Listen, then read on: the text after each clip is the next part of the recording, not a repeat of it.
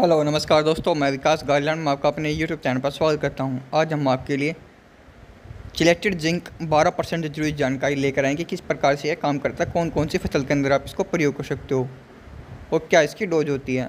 तो इन सभी से जुड़ी जानकारी हम आपको इस वीडियो के माध्यम से देंगे। तो वीडियो को शुरू से लेकर लास्ट तक देखना ना भूलेगा और साथ में हमारे यूट्यूब चैनल को सब्सक्राइब करना ना भूलेगा ताकि आपको नई वीडियो की अपडेट आपको तुरंत मिलती रहे। बात करते हैं नोवो जिंक की। देखिए, जो नोवो जिंक है, कोरोमंडल कंपनी के द्वारा बनाया गया, बनाया जाता है। ये एक माइक्रोन्यूट्रेंट फर्टिलाइज़र होता है, जिस प्रकार पौधे को एन पी के यानी नाइट्रोजन पोटेशियम और पोटेशियम और पोटास की ज़रूरत होती है। इसी प्रकार पौधे को अलग अलग पोषक तत्वों की ज़रूरत होती है, जो कि सत्रह ऐसे पोषक तत्व हैं, जिनमें से एक जिंक भी आता है, जिनकी पौधों को ज़रूरत होती है। अब जिंक की बात करें तो जिंक जब की कमी जब पौधे के अंदर हो जाती है तो उसके अंदर उसके पत्तों में पीलापन शुरू हो जाता है और नई पत्ती निकलती हैं तो वो भी अच्छी नहीं निकलती और साथ में उनके अंदर एक पीलापन सा दिखाई देता है या फिर उनके अंदर थोड़ा सा पत्तियों का आकार है छोटा छोटा दिखाई देता है और उसके अंदर फूल आने में भी कमी होती है और साथ में फल फूल आने में भी कमी होती है और साथ में नई ब्रांचेज आने में भी कमी हमारी दिखाई देती है। और जिसके कारण हमारा उत्पादन है, वो लगभग तीस से लेकर चालीस परसेंट तक हमारे उत्पादन में कमी आ जाती है। मुख्य रूप से जिंक है, वो सभी फ़सलों के अंदर से यूज़ की जा सकती है, लेकिन जो इस समय हम यूज़ करते हैं, उस समय हम इसको ज़्यादातर धान के अंदर यूज़ करते हैं। देखिए तो धान के अंदर जिंक की बात करें तो 500 ग्राम पर एकड़ के हिसाब से आप जिलेटेड जिंक होती है, जो 12 परसेंट, उसको 500 ग्राम पर एकड़ के हिसाब से आप यूज़ कर सकते हो। और बात यह है कि ये डीएपी के साथ में भी सोल्यूबल होती है, और इसको आप मुख्य रूप से देखिए, या तो 10 ग्राम किसी फर्टिलाइज़र के साथ में मिलाकर यूज़ कर सकते हो, या फिर दस दस छः से लेकर सात के जी जो रेत होता है, उसके साथ में मिलाकर आप इसका, आप इसको खेत के अंदर डाल सकते हैं, या फिर आप इसको स्प्रे के द्वारा भी आप इसको प्रयोग कर सकते हो। देखिए, जो जो सौ ग्राम है, उसको सौ लीटर पानी के साथ में मिलाकर आप इसको प्रयोग कर सकते हो।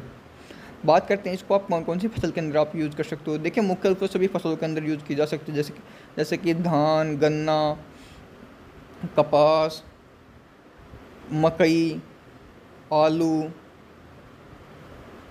और जो भी फल फल वर्गीय सब्ज़ी होती है, जैसे कि किन्नू किन्नू संतरा तो इन सभी फ़सलों के अंदर आप इसे यूज़ कर सकते हो। मुख्य रूप से सभी फ़सलों के अंदर आप यूज़ कर सकते हो। डोज अलग अलग अलग अलग के हिसाब से अलग अलग हो सकती है। मुख्य रूप से जो इसकी डोज है, वो 500 ग्राम पर एकड़ के हिसाब से आप यूज़ कर सकते हो।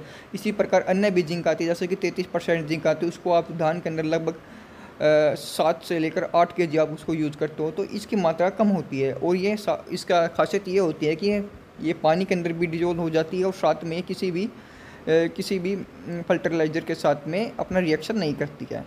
तो इसका ये शानदार इसका रिज़ल्ट हमें देखने को मिलता है तो जिसके कारण पौधे को आसानी से मिल जाती है। बात करते हैं इसकी प्राइस की। देखिए, जिसको सौ ग्राम का नोवो जिंक का प्राइस है, वो सौ रुपये ही दिया गया है, जो एम आर पी सौ रुपये दिया गया, लेकिन मार्केट के अंदर आपको सत्तर से लेकर अस्सी रुपये के बीच में आपको अवेलेबल हो जाती है। और कोरोमंडल है, वो काफ़ी अच्छी कंपनी है, जिसके प्रोडक्ट भी अच्छे हमें देखने को मिलते हैं। और जिंक की कमी कमी हमें पौधों के अंदर खासकर देखी जाती है तो उस समय आप इसको यूज़ कर सकते हो। तो डोज हैं, वो अलग अलग हो सकती हैं। जैसे कि हम देखते हैं कि सभी फ़सलों के अंदर हमें जिंक की कमी के कारण देखते हैं तो पीलापन उनके पौधों पौधों के पत्तियों के अंदर आ जाता है।